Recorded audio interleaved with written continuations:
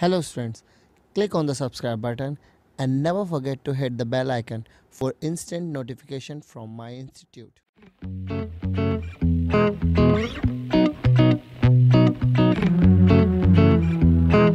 Hello students तो चलिए आज हम लोग स्टार्ट करते हैं अपना नेक्स्ट टॉपिक नेक्स्ट टॉपिक में हम लोग पढ़ेंगे यहाँ पर जब कभी भी हम इंटीग्रेशन करेंगे और जो फ़ंक्शन हमें प्रोडक्ट में दे रखा होगा। उसके बारे में पढ़ेंगे अब हम लोग। यानी कि यहाँ पर हम लोग बाय पार्ट की बात कर रहे हैं। यानी कि 7.6 की बात कर रहे हैं। 7.6 में क्या है कि जब कभी भी आपको दो फ़ंक्शंस आपस में मल्टीप्लाई में दे रखे होंगे तो उनका इंटीग्रेशन किस तरीके से करना है? लेकिन मैं यहाँ पे कॉन्सेप्ट को और मज़बूत बनाने के लिए स्टार्टिंग से बताना चाहूँगा सब कुछ कि कैसे कैसे ये फॉर्मूला बना कैसे कैसे क्या हुआ, और कब आप ये फॉर्मूला लगा सकते हो और कब आप ये फॉर्मूला नहीं लगा सकते। और ये फॉर्मूला क्या है?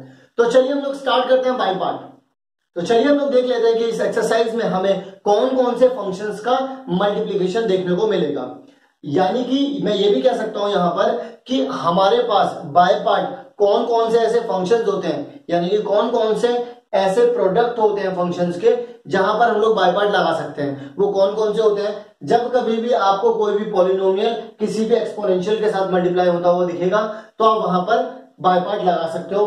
जब कभी भी कोई पॉलिनोमियल अब आप बोलोगे, सर लॉग एक्स कहाँ से पॉलिनोमियल हो गया? अरे एक्स के साथ लॉग एक्स के साथ जो है मल्टीप्लाई हो रखी है एक्स की पावर ज़ीरो यानी कि वन की। वन को क्या बोल सकता हूँ? एक्स की पावर ज़ीरो और एक्स की पावर ज़ीरो क्या हो जाएगा? पॉलिनोमियल बन गया।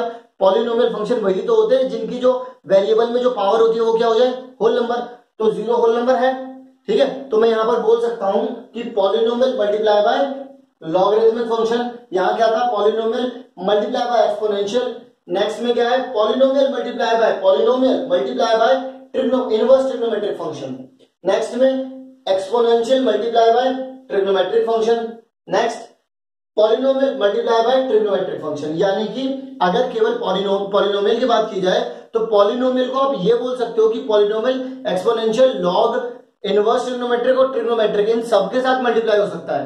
लेकिन अगर बात की जाए और किसी की और किसी की। बाकी सारे इससे हो सकते हैं, ये उनसे हो सकता है। लेकिन अगर बात की जाए किसी और की तो केवल e की पावर x और साइन x, यानी कि एक्सपोनेंशियल और ट्रिग्नोमेट्रिक फ़ंक्शन यही तो ऐसे हैं जो आपस में मल्टीप्लाई होकर के बाय पार्ट लगता है यहाँ पर। और किसी में नहीं लगता।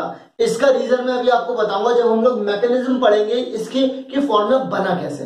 तो चलिए देखते हैं फॉर्मूले के लिए।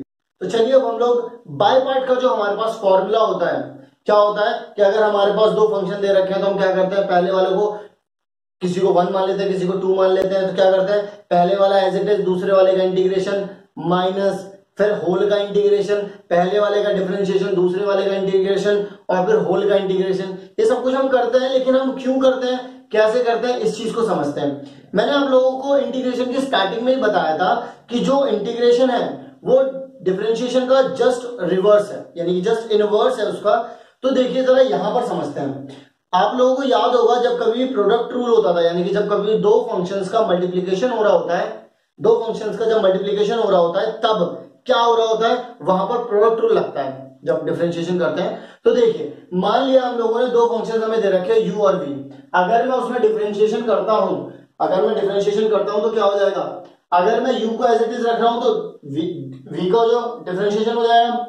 और अगर मैं v को एज इट इज़ रख रहा हूँ तो u का डिफरेंशिएशन हो जाएगा। अब देखिए जरा, मैंने क्या बोला था? इंटीग्रेशन प्रोसेस कैसे होती है? ये dx यहाँ चला जाता है और ये जो d वाला साइन है, जब वो यहाँ जाता है तो क्या बन जाता है? इंटीग्रेशन का साइन बन जाता है। अब देखिए यहाँ पर हुआ क्या? कि dx यहाँ चला गया, इसमें भी मल्टीप्लाई हो जाएगा और इसमें भी मल्टीप्लाई हो जाएगा। देखिए मल्टीप्लाई हो गया दोनों में। अब ये जो d का साइन था यहाँ पर, d का साइन जब गया तो क्या बन गया वो? इंटीग्रेशन का साइन दोनों में लग गया जाकर के। ओके अब देखिए जरा यहाँ पर ध्यान से। अगर मैं, देखिए जरा यहाँ पर, ये यहाँ पर लिखा हुआ है, अगर मैं इसको यहीं लिखे रहने दू, ठीक है? और देखिए, इसको उठा करके यहाँ ले आऊँ तो ये माइनस में आ जाएगा, जैसा कि आया हुआ है, u into v minus integration d u over d x v into में डी एक्स ओके तो देखिए, इसका, इसकी वैल्यू क्या हो जाएगी? इसकी वैल्यू यही तो हो जाएगी। अब जरा एक बात सुनिए, ध्यान से समझिएगा इस बात को, लिखा क्या है ये? एक फ़ंक्शन लिखा हुआ है और ये किसी एक फ़ंक्शन का डेरिवेटिव लिखा हुआ है। ठीक है? अब अगर मैं थोड़ी देर के लिए मान लू, ये क्या है? डिफरेंशिएशन ऑफ़ वी है। ठीक है? अगर मैं इसको एक फ़ंक्शन मान लेता हूँ, मान लेता हूँ थोड़ी देर के लिए, मैंने इसको फ़र्स्ट मान लिया, मैंने इसको सेकंड मान लिया। इसको फ़र्स्ट मान लिया और इसको सेकंड मान लिया।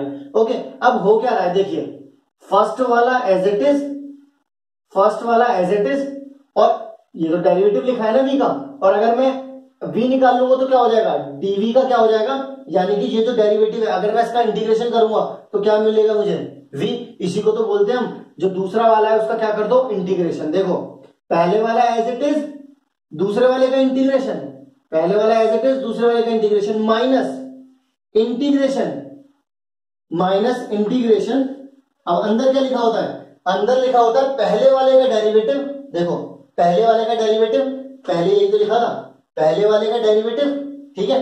दूसरे वाले का इंटीग्रेशन दूसरे में क्या था? डीवी ओवर डीएक्स तो इसका इंटीग्रेशन करूँगा तो क्या आएगा वी इसका मतलब अल्टीमेटली क्या लिखा है? वी क्या लिखा है? वी लिखा हुआ है integration of dv over dx और डी यू ओवर डीएक्स क्या लिखा है? Derivative of u derivative of u और ये वी क्या लिखा है?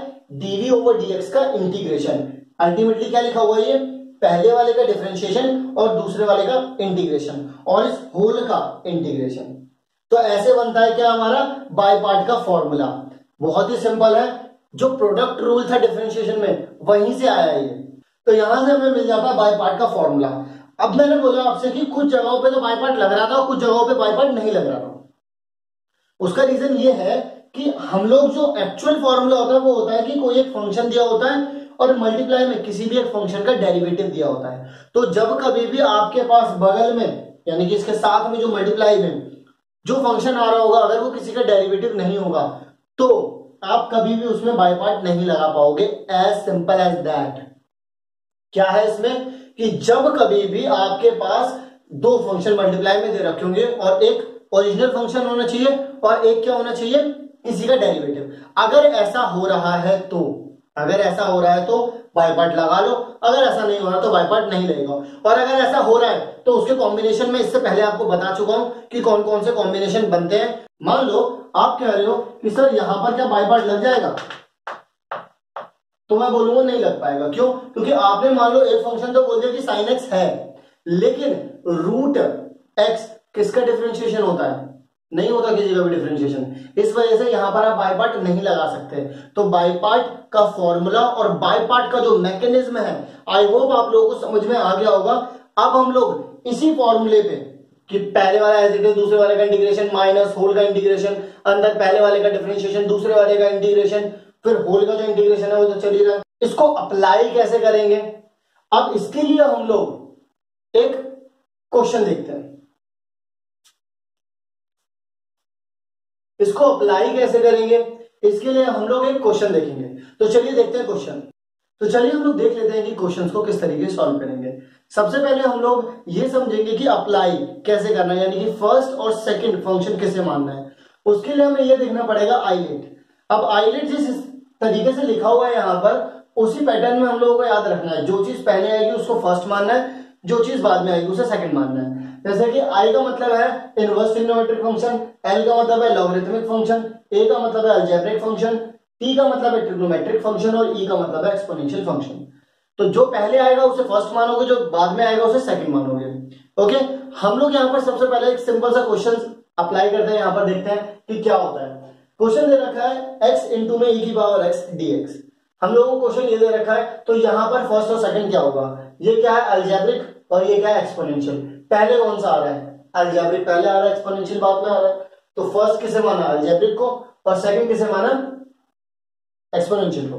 ओके नेक्स्ट देखते हैं अब यहाँ पर कि फॉर्मूला क्या होता है भाई?